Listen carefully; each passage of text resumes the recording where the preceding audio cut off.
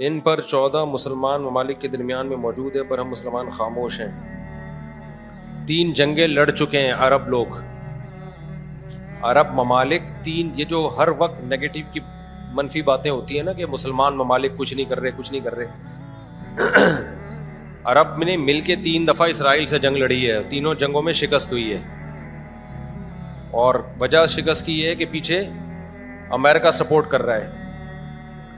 तो क्योंकि इसराइल से लड़ने का मतलब है कि अमेरिका से लड़ाई, इस वजह से शिकस्त हो जाती है। तो वो तीन दफ़ा लड़के बैठ चुके हैं अब क्या करें हम?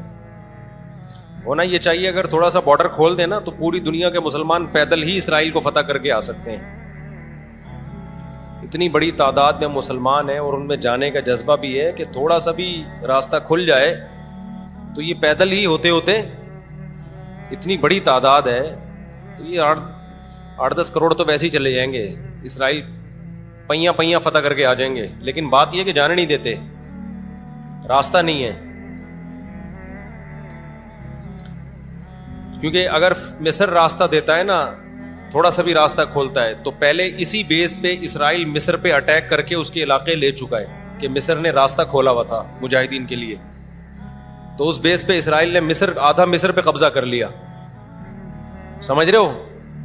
तो जब मिसरी आज से निकल गया उनके तो ऐसा गिच्छी पकड़ी है ना चारों तरफ़ से। तो अब देखें आगे होता क्या है, अल्लाह खैर करे।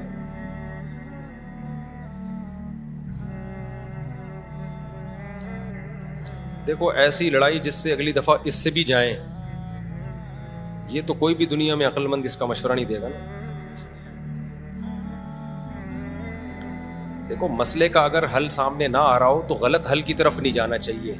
ये जहन में रखें। एक आदमी बंदूक लेके आपको कह रहा है, जेब में जो कुछ है निकाल दो।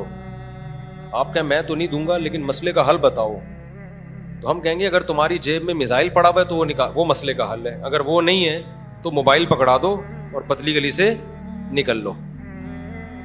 तो ऐसा काम करना जिससे लेने के देने पड़ जाएँ, वो तो नहीं हल है ना? तो ऐसे मौके पे दुआ है और क्या है? बदुआएँ हैं। दुश्मन के खिलाफ बदुआएँ हैं। किसी के पास रास्ता है, जाने का तो जाए, सौ दफ़ा जाए। अनाउंस करे कि ये रास्ता है, ये यहाँ से निकल आया है रास्ता तो सब पहुँच जाएँगे। एक चीज़ उसूली तौर पे याद रखें, जो चीज़ इख्तियार में है, उसमें इंसान कमी ना करे, जो इख्तियार में नहीं है, उसके बारे में सोचे नहीं। से टेंशन के सिवा कुछ भी हासिल नहीं होता। क्योंकि जब आप ऐसी चीज़ का सोचना शुरू करते हैं ना, जो आपके इख्तियार में नहीं है तो हमेशा वो काम कर लेते हैं जो जिसका पहले से भी ज़्यादा नुकसान होता है। जिसका पहले से ज़्यादा नुकसान होता है। मेरी पॉलिसी हमेशा यही रही है हर मामले में, जो अपने इख्तियार में है, छोड़ो नहीं। जो इख्तियार में नहीं है, पढ़ो नहीं उसमें। समझ रहे हो कि नहीं समझ रहे? अगर हम इस असूल पे इख्तियार कर लें, बहुत सारे मामला हमारे वैसे ही सीधे हो जाएँगे। तो लोग जो बिला वजह फंडर बनने की कोशिश करते हैं ना, हम ये कर देंगे, हम वो कर देंगे, वो फंडर गिरी ही होती है। एक यूट्यूब पे और बल्कि उस पर टिकटॉक पे एक बंदा आ रहा है, लड़का। बड़े गुस्से में बैठा होता है।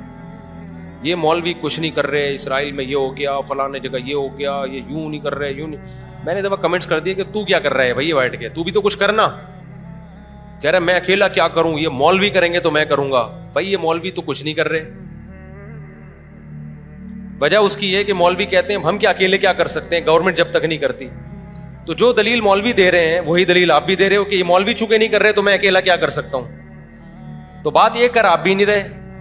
ये बातें करता हुआ वो अच्छा लगता है, जो मैदान जंग में जा रहा हो, लड़ रहा हो, और दू बदू फायर हो रहा हो, और जिहाद कर रहा हो, और कह रहे, देखो, मौलवी कुछ नहीं कर रहे, और मैं यहाँ बम रख के आ रहा हूँ वहाँ पे। और शहीद हो रहा हूँ मैं सबके सामने। जितने स्कॉलर आ रहे हैं मौलवी ये नहीं कर रहे, वो नहीं कर रहे। भाई, तुम भी बातें ठोकने के अलावा कुछ भी नहीं कर रहे हो। तो मौलवी वो बातें नहीं कर रहे जो तुम कर रहे हो। इसलिए कि उनको पता है बातें करने का फ़ायदा नहीं है। तो काम वो करो जो कर सकते हो। समझते हो कि नहीं समझते? एक खातून ने अपने शोहर से कहा ना कि स्विट्जरलैंड जाने पे कितना खर्चा होगा? मैं सोच रही हूँ कि हम स्विट्जरलैंड चलते हैं। कितना खर्चा होगा? उसने कहा, बिल्कुल भी नहीं। उसने कहा, क्यों नहीं खर्चा होगा? उसने कहा, सोचने पे कोई खर्चा नहीं। सोच ही रही हो ना स्विट्जरलैंड जाने का। तो वो बात करनी चाहिए जो अमली दुनिया में मुमकिन हो। और दूसरी बात ये कि या जो भी बड़े लेवल पे जो लोग होते हैं, वो बहुत कुछ अंदर अंदर कर रहे होते हैं। वो परले दर्जे के बेवकूफ़ होंगे अगर वो आवाम को बता के करना शुरू कर दें। बड़ी हमाकत की बात होगी। बहुत कुछ अंदर अपर लेवल पे हुकूमतों से रबतों की कोशिश हो रही होती है। हुकूमतों को समझाया जा रहा होता है, हुक्मरानों को हल दिए जा रहे होते हैं। तो ये नहीं होता कि जो भी कर रहा है ना कि मैं जा रहा हूँ आर्मी चीफ। ऐसी और इस्लामिक वीडियो और बयान के लिए हमारे चैनल राजीव जी ऑफिशियल को सब्सक्राइब करें।